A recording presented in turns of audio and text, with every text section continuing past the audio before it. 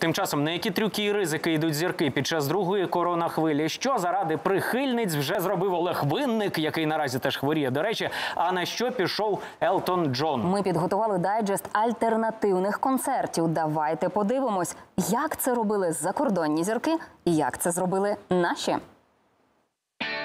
Відсутність живих концертів зумовила зростання популярності онлайн-виступів. У багатьох з'явилась можливість побачити не тільки вітчизняних співаків, але й зірок світового рівня.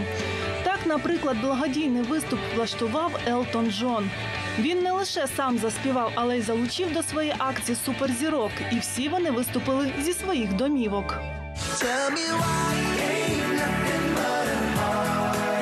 Однак перехід на онлайн-платформи не для всіх був таким легким. Зокрема, українському співакові Олегові Скрипці довелося освоїти соцмережі, до яких у нього раніше не доходили руки. Зараз я нарешті розібрався з інстаграмом і з Фейсбуком. Я став вже повноцінним мешканцем цього простору.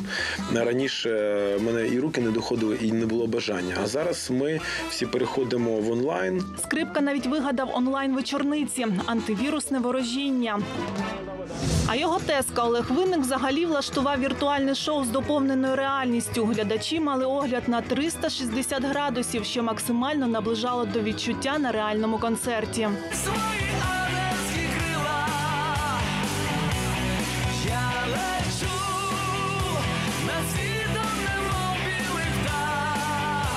Однак дехто з виконавців вирішив не сидіти біля моніторів і вийшов на люди.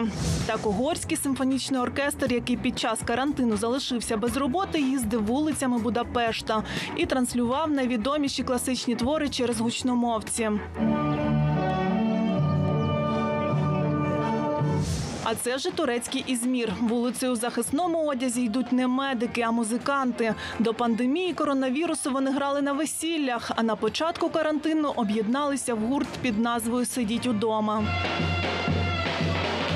Улітку, коли карантин послабили, французькі музиканти продовжували організовувати незвичні концерти. Ось один із них посередині озера на пливкій платформі. Унікальну сцену на баржі змайстрували і в Києві. Глядачі спостерігали дійство з палуби плавного готелю або власних човнів. А ось музиканти гурту Грінгрей влаштували вертикальний концерт в одному з київських готелів. Сцена була розміщена на даху так, щоб її могли бачити люди з балконів своїх номерів. Але рекордсменом живих виступів на публіці під час пандемії є гурт без обмежень. В умовах карантину вони відіграли 12 концертів у форматі безпечний автомобільний тур. Ми будемо фізично е, присутні на сцені, буде світло, звук, екран. Люди приїздять на автомобілі, сидять вдвох або з дітьми і не контактують з чужими для них людьми. Такі виступи на капоті стали перехідним містком до повернення артистів на концертні майданчики, але вже за новими правилами.